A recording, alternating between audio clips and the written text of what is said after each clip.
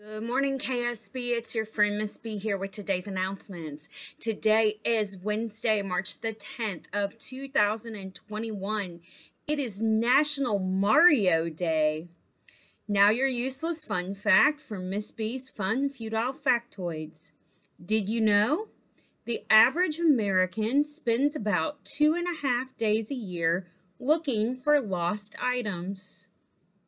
Now it's that time of the morning where we take a walk down memory lane to visit Mr. Reese's riveting historical rewind corner.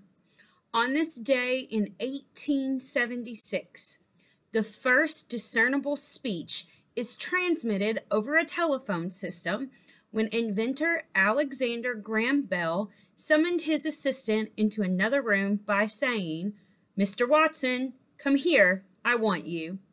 Bell had received a comprehensive telephone patent just three days before. Let's spend 2021 finding ways to be inspired each day. Your inspirational quote for today comes from author Sarah Ockler. I've never met a problem a proper cupcake couldn't fix. Don't forget, if you'd like to participate in this year's summer work program, Applications are due to Mr. Mullins no later than Friday, March 19th.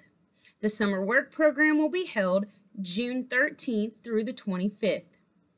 Are you a 10th, 11th, or 12th grader and interested in attending this year's Insight program?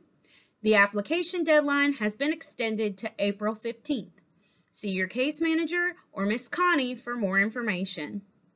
That's all for today's announcements. Continue to practice those PAWs. Positive thinking, act responsibly, work hard, and show respect. Please stand for the pledge. I pledge allegiance to the flag of the United States of America and to the republic for which it stands, one nation, under God, indivisible, with liberty and justice for all. Have a great Wednesday, Wildcats.